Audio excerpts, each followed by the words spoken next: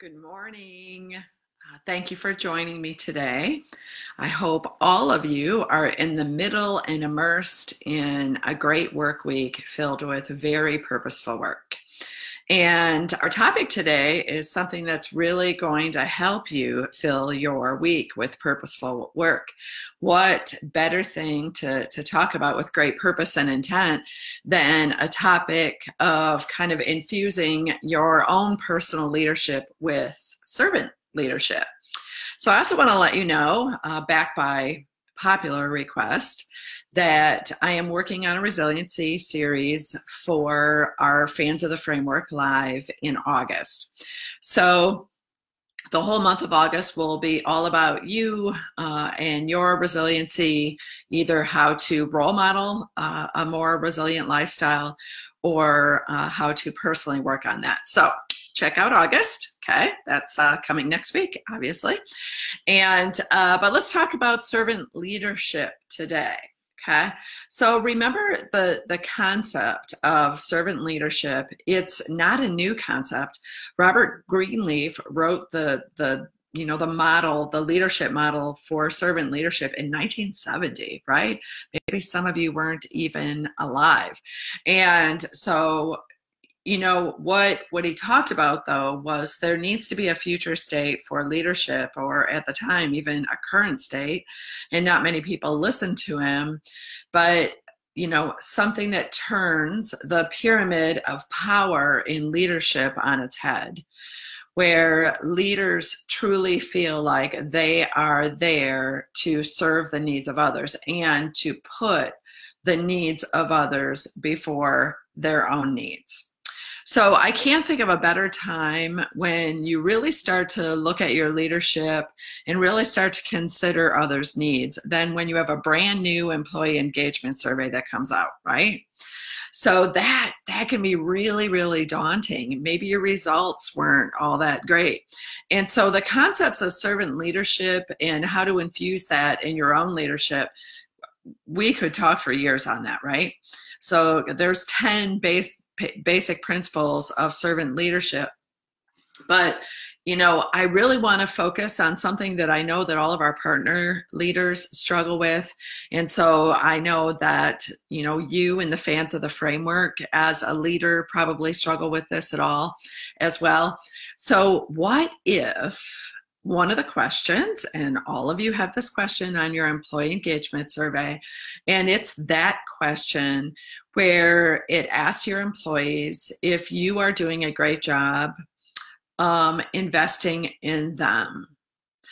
Uh, sometimes the question is stated I feel my organization um, is a place where I can grow and develop both personally and professionally, or I uh, I work for an organization that uh, assists with my personal and professional growth and development. However, it's worded, it's on everybody's survey because guess what?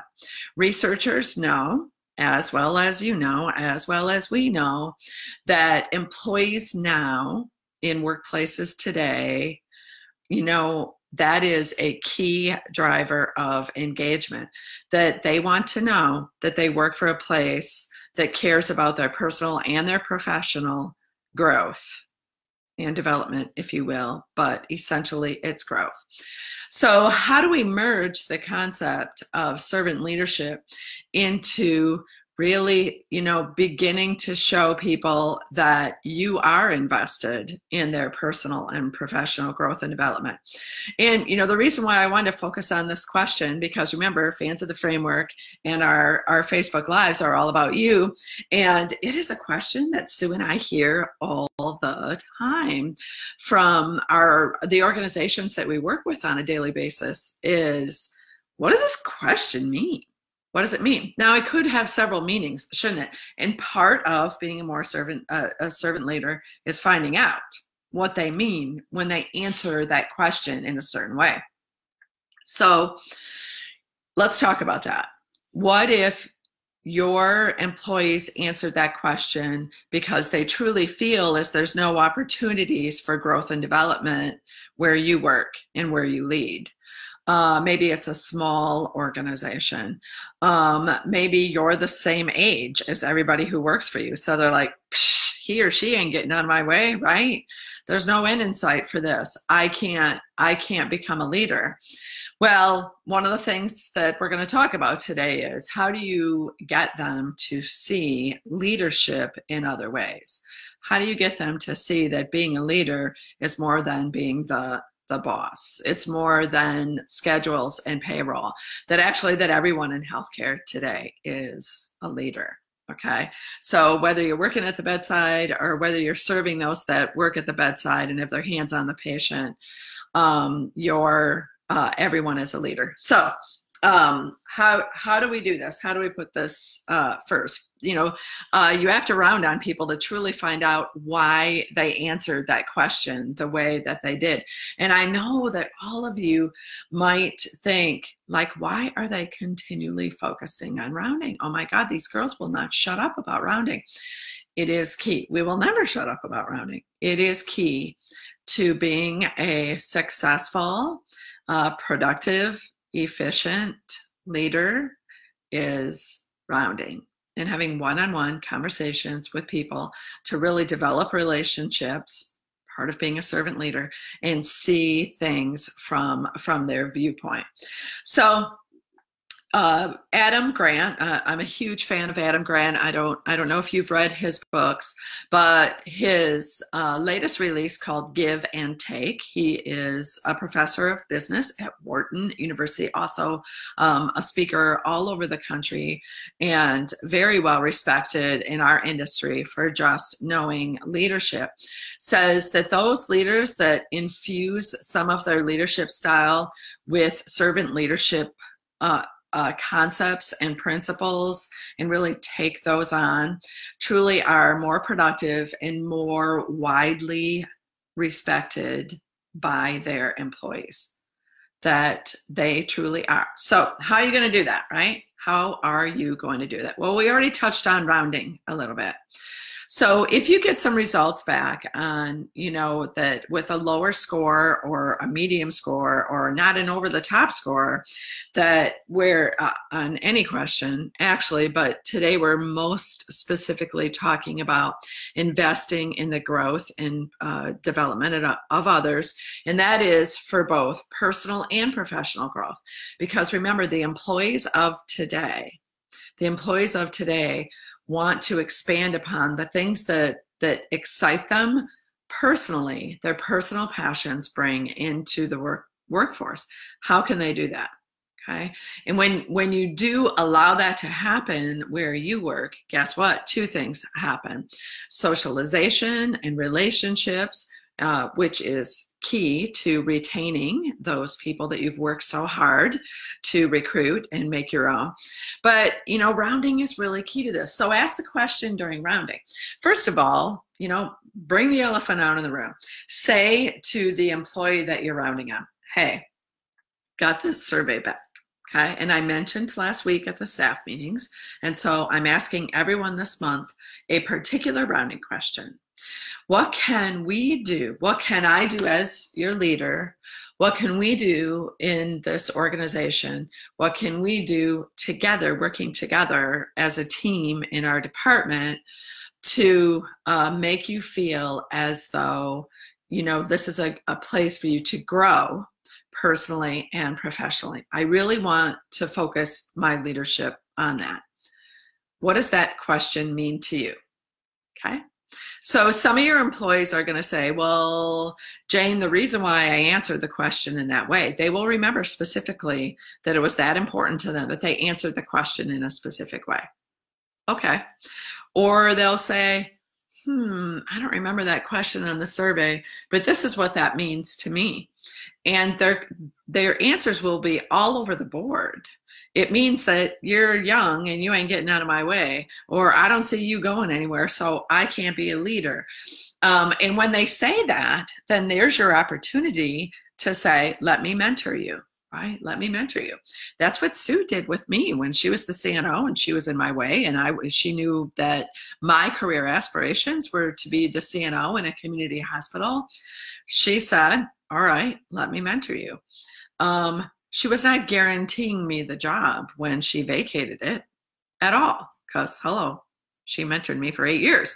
So let me mentor you. Let me uh, invite you to meetings, um, sign you up for webinars that I think look interesting, assign you projects uh, that, that highlight your leadership ability and let you practice presenting in front of physicians, the board, uh, other department heads. Uh, let's make you the leader of an employee driven team or a task force or a project right?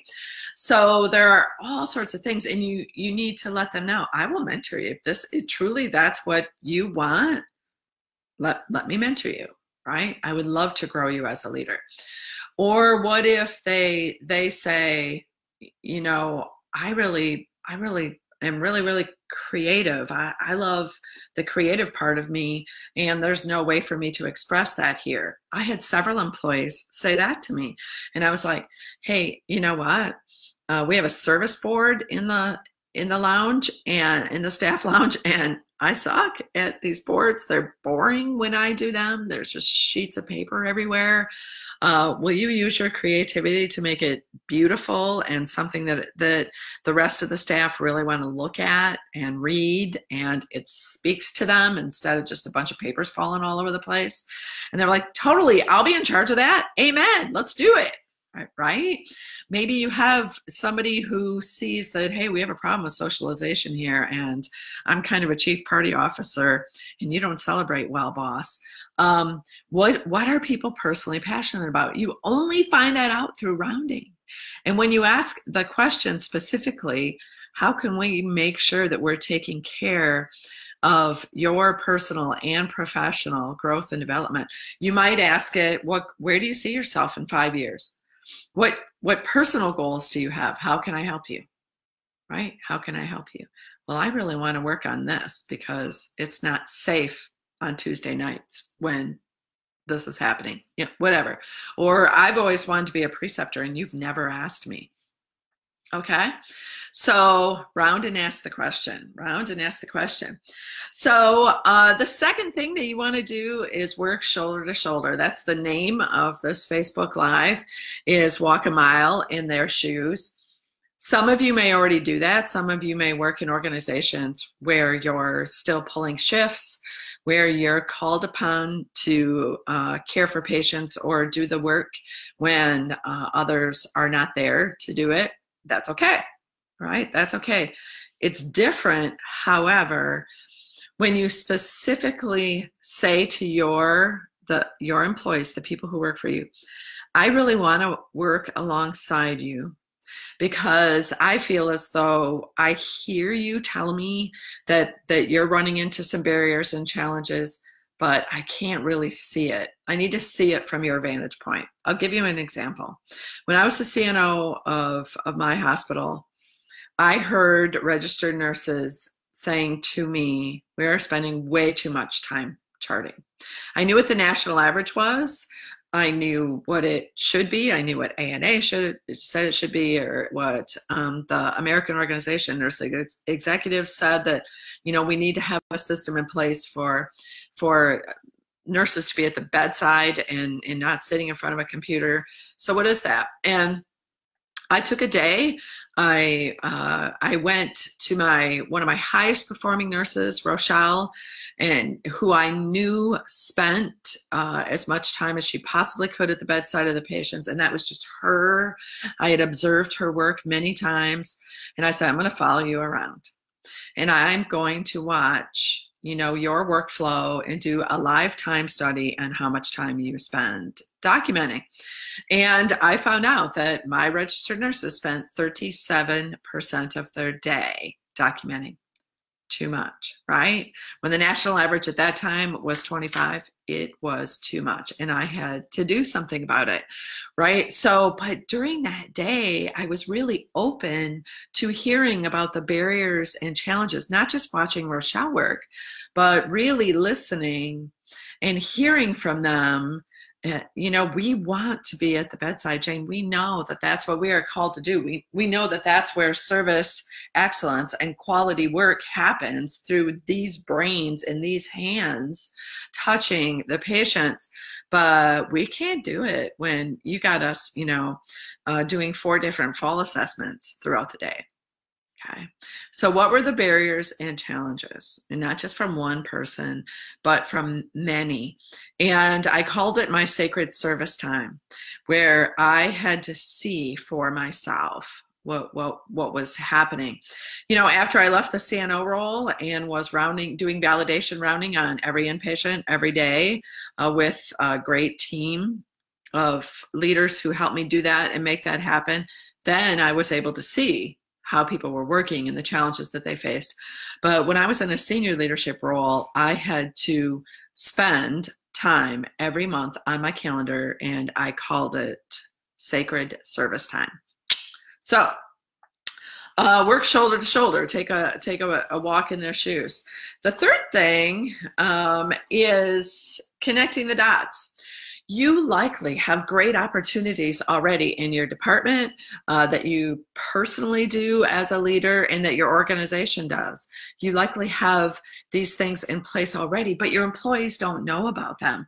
You know, a situation at our organization was, you know, we had tuition reimbursement that anybody who wanted to go back to school, you know, and if they didn't already have their bachelor's degree, it was paid for, right? And a lot of people, when I would round on them and ask that question about their personal personal and professional growth and development didn't know that we had that in place.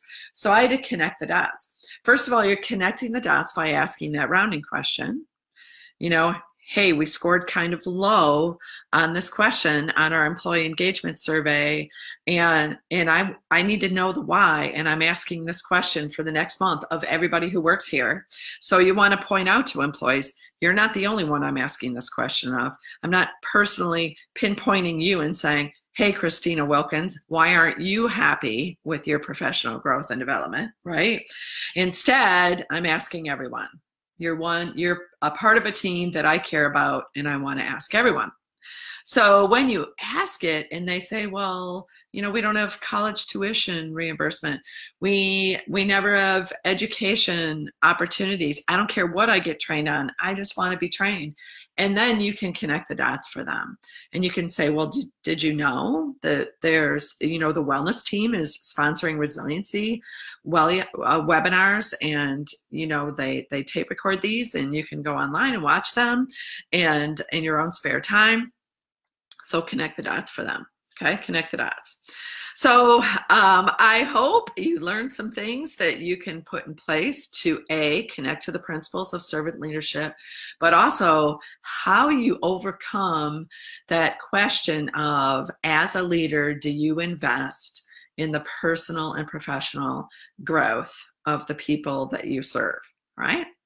Want to let you know what we got going on at Capstone Leadership this summer. Uh, Sue and I are working diligently to finish all eight modules of Capstone EDU so that at the end of them, you would have the opportunity to um, take part online through our app, Capstone EDU, um, and the entire framework of the standard work of leaders or our leadership bundle will be included in that. Uh, wait for the end of the summer. That is actually the end of September, uh, probably 1st of October. That will be available uh, to all of you. And uh, the other thing that, that we got going on is the greatness course. So if you are interested in one-on-one coaching uh, with Sue and I over a period of months, and also connecting with us through live uh, webinars and um, learning how to set up our framework in your own scope of influence, go to the website, www.capstoneleadership.net, and read all about the greatness uh, course. There's a cohort starting near you. Have a great day.